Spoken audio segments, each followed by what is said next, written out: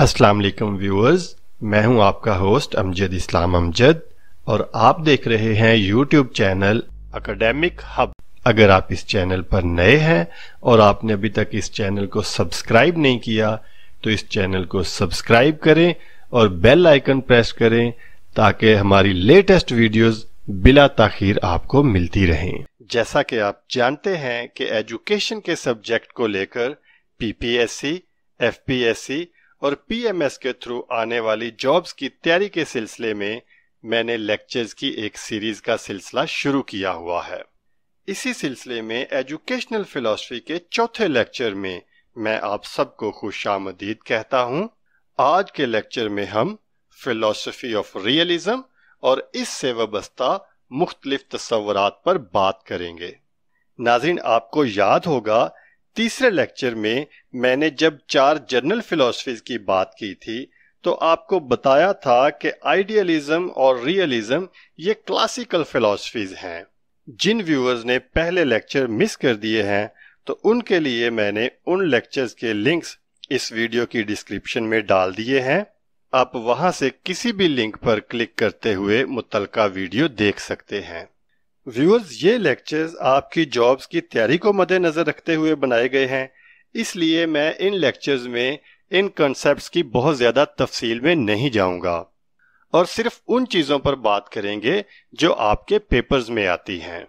तो आज के लेक्चर में हम बात करेंगे what is realism what are chief tenets of realism types of realism realism and aims of education realism and curriculum realism and role of teacher suggested teaching methods by realism और आखिर में हमेशा की तरह आपके लिए चंद सैंपल एमसीक्यूज दिए गए हैं, जिनके ज़रिए इस लेक्चर के बाद आप अपनी लर्निंग को असेस कर सकेंगे। तो बढ़ते हैं हम अपनी नेक्स्ट स्लाइड की तरफ़। व्यूअर्स रियलिज्म की फिलॉसफी को अरिस्टोटल ने पेश किया है। तो अगर आपको एग्ज़ाम में क्वेश्चन आ जाए who was exponent of realism और who was father of realism तो इसका आंसर होगा अरिस्टोटल। रियलिज्म की फिलॉसफी, आइडियलिज्म की फिलॉसफी के रिएक्शन के तौर पर सामने आई। हमने लास्ट लेक्चर में देखा था कि आइडियलिज्म के मुताबिक आइडियाज़ आर रियल, जबकि रियलिज्म का मानना यह है कि existence of objects is real idealism वाले अल्टीमेट रियलिटी स्पिरिट और माइंड को समझते थे, जबकि रियलिज्म वाले ये समझते हैं कि physical matter is the ultimate reality अब हम बात करते हैं चीफ टेनेट्स ऑफ़ रियलिज्म पर। मिसाल के तौर पर इस कायनात में बेशुमार ऑब्जेक्ट्स बेशुमार चीज़ें ऐसी हैं जिनका हमें इल्म नहीं। इवन उन ऑब्जेक्ट्स का हमें नाम तक नहीं मालूम, मगर वो ऑब्जेक्ट्स तो मौजूद हैं। सो रियलिज्म वाले कहते हैं existence of objects is independent of knowledge दूसरा टेनेट है qualities are inherent in non objects तो रियलिज्म का मानना यह है कि ऑब्जेक्ट्स को लेकर उनकी जिन खसूसियात का हम मुशाहदा करते हैं, वो खसूसियात उन ऑब्जेक्ट्स का लाजमी हिस्सा होती हैं। Third point is knowledge does not affect the object or its qualities realism का मानना यह है कि चूँकि ऑब्जेक्ट्स और उनकी क्वालिटीज पहले से मौजूद होती हैं, इसलिए किसी भी ऑब्जेक्ट या उसकी क्वालिटीज के हवाले से हमारा इल्म उन पर असरअंदाज नहीं होता। हमें किसी चीज़ के बारे में कम या ज़्यादा इलम हो सकता है, हमारा इलम नाकस या बहुत अच्छा हो सकता है, मगर ये चीज़ें ऑब्जेक्ट्स और उनकी क्वालिटीज पर असरअंदाज नहीं होती। चौथा पॉइंट है knowledge of objects is direct इसके मुताबिक रियलिज्म वाले ये तस्लीम करते हैं कि किसी भी सादा से सादा ऑब्जेक्ट के हवाले से भी डायरेक्ट इलम हासिल किया जा सकता है।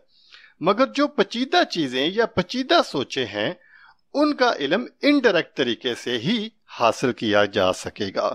आखिरी पॉइंट है relation between object and thought इसके मुताबिक नाइव रियलिज्म वाले ये तस्लीम करते हैं कि ऑब्जेक्ट्स और थॉट्स में तल्लक होता है। मगर साइंटिफिक रियलिज्म वाले इस थ्योरी को रिजेक्ट करते हैं।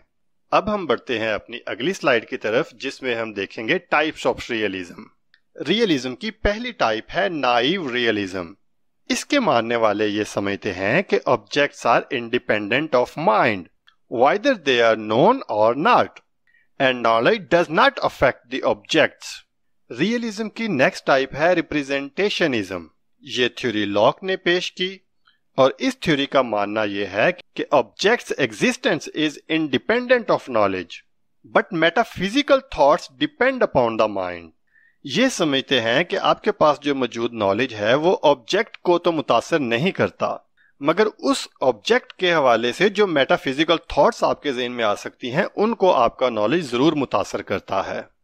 रियलिज्म की तीसरी टाइप है neo realism platonic theory of reality को लेकर ये एक नई अप्रोच है।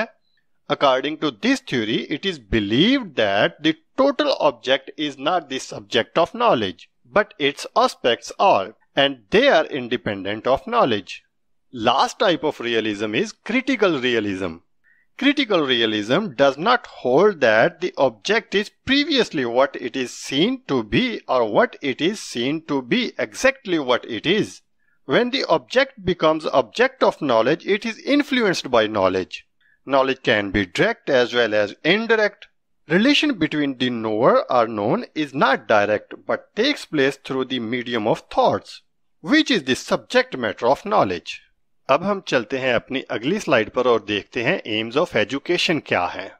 रियलिज्म के मुताबिक एजुकेशन का एम यह है कि दुनिया को इंक्वायरी मेथड के ज़रिए समझा जाए। अपने आइडियाज़ को तजर्बात की मदद से वेरीफाई किया जाए और तलबा को सिर्फ़ वो सब्जेक्ट्स पढ़ाए जाएँ जिनका तल्लक उनकी रूटीन लाइफ के साथ हो और उनकी मदद से स्टूडेंट्स अपनी रैशनल पावर को डेवलप कर सकें। अब हम बढ़ते हैं अपनी अगली स्लाइड की तरफ़, जिसमें हम देखेंगे कि रियलिज्म वाले किस किस्म का करिकुलम सजेस्ट करते हैं। रियलिज्म वाले ये समझते हैं कि करिकुलम ऐसा होना चाहिए जिसका तल्लक हमारी डेली लाइफ के साथ हो। लिटरेचर आर्ट म्यूज़िक और डांस वगैरह जैसे सब्जेक्ट्स को रियलिज्म वाले गैर ज़रूरी ख्याल करते हैं। और ये चाहते हैं कि इनकी जगह पर नेचुरल साइंसेज के सब्जेक्ट्स जैसा कि फिजिक्स केमिस्ट्री बायोलॉजी और ऑस्ट्रोलॉजी को पढ़ाया जाए। तो यहाँ से हमें पता चला कि रियलिज्म के मुताबिक नेचुरल साइंसेज के जो सब्जेक्ट्स हैं, इनको करिकुलम में शामिल होना चाहिए। अब हम बढ़ते हैं अपनी अगली स्लाइड की तरफ़, जिसमें हम देखेंगे कि रियलिज्म ने टीचर के रोल को कैसे डिफाइन किया है। रियलिज्म ये समझती है कि टीचर को अहद हाजिर के जितने भी अलूम हैं, उन सब पर मुकम्मल अबूर होना चाहिए।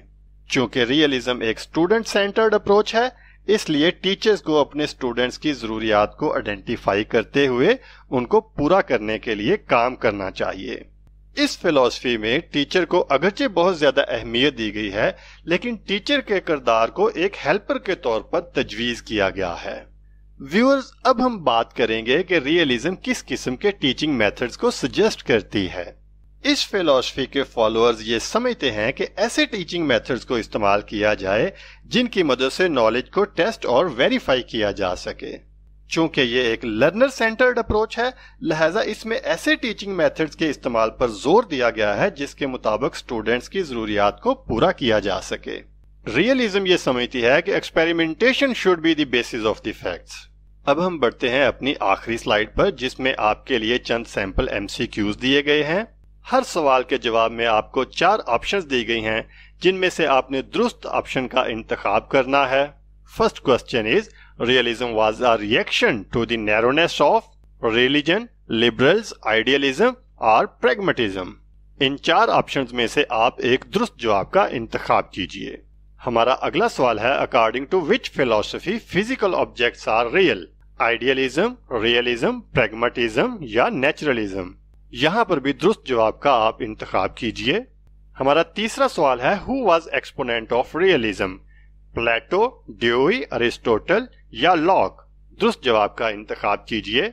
हमारा चौथा सवाल है realism is approach teacher centred subject centred student centred या ऑल ऑफ़ दीज यहाँ पर भी दुरुस्त जवाब का इंतखाब कीजिए। हमारा आखिरी सवाल है in realism knowledge is gain through ideas, experiments intuition or senses यहाँ से भी दुरुस्त जवाब का इंतखब कीजिए। व्यूज़ इन तमाम सवाल के जो दुरुस्त जवाब आप समझते हैं, उसको इस वीडियो के कमेंट बॉक्स में लिखिए। और मैं वहाँ पर आपको रिप्लाई करूँगा कि आपके कौन से ऑप्शंस ठीक हैं और कौन से ऑप्शंस गलत हैं। तो इस वीडियो को देखने के बाद कमेंट बॉक्स में आप जो अपना फीडबैक देंगे, उस पर एक रिफ्लेक्टिव फीडबैक मैं आपको दूँगा, जिसकी मदद से आपकी ये तैयारी ज़्यादा बेहतर अंदाज में हो सकेगी। अगर ये वीडियो आपको अच्छी लगी तो इस वीडियो को लाइक कीजिए कमेंट कीजिए और शेयर कीजिए अपने उन फ्रेंड्स और स्टूडेंट्स के साथ जो इन जॉब्स की तैयारी कर रहे हैं। तो व्यूअर्स हमारी अगली वीडियो तक के लिए अल्लाह हाफिज।